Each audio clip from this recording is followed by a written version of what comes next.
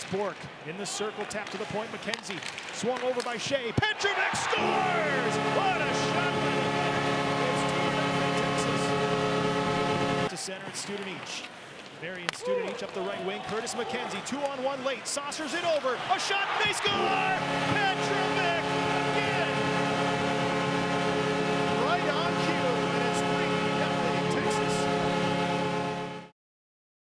A little bit of stress. And McKenzie will lead it into the offensive zone.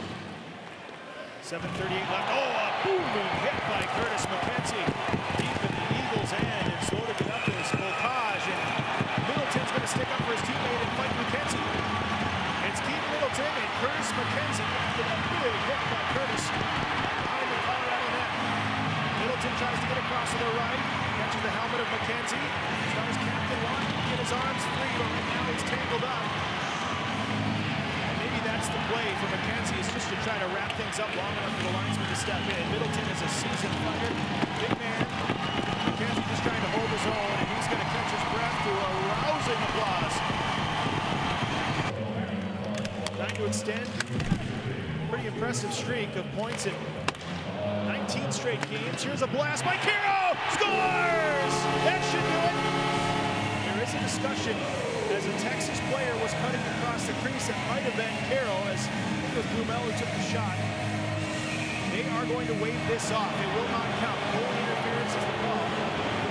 As Justus Annunen was prevented from getting into position to make the save. Barber. And here's a one-timer. Blumel scores!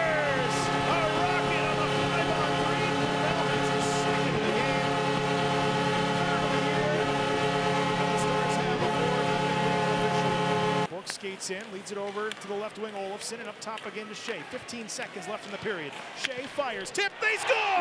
Marion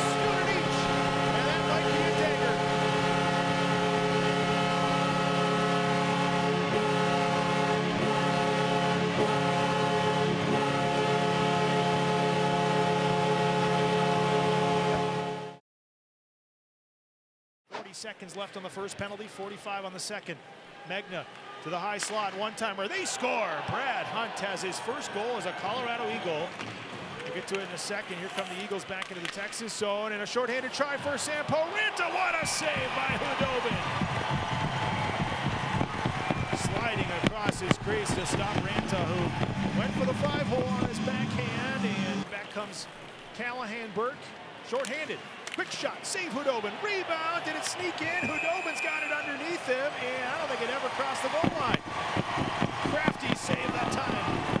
By the 36-year-old veteran, Anton Khudobin, who has quietly had a really nice game for Texas after he didn't see a lot of shots in the early going. Then, as the countdown will begin here at the HEB Center.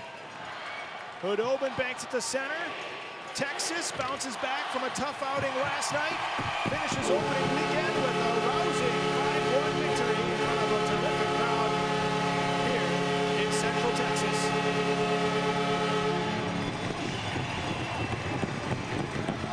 We've got a little bit of a discussion to be had after 60 minutes is up.